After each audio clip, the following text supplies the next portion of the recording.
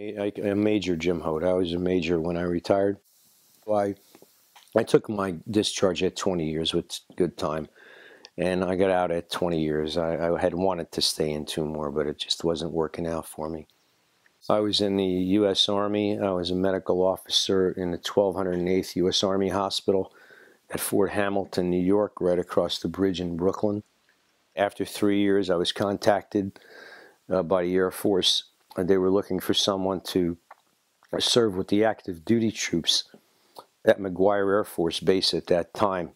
And it was a slot that they wanted uh, me to take into consideration, which I was glad to take because I would have I served with the active duty troops. I was uh, called a Category B officer. I enjoyed serving the country in that capacity there. But uh, I learned a lot, and I, I, I, was in touch with a lot of uh, very good good people. I'm I still hear from quite a bit. But uh, I retired in 2005 with the rank of major, and uh, it's it's set a precedence for my son. He used to come down and see me. Uh, you know, he was a very small boy, and he's always wanted to follow that career, and that's exactly what he's done. And he'll be commissioned this May as an officer. He'll be in obviously a different branch than I was. He's going to be a pilot, but uh, he he enjoyed it ever since he was only four years old, and that's the direction he took. And I'm proud of him. He's he's doing very well.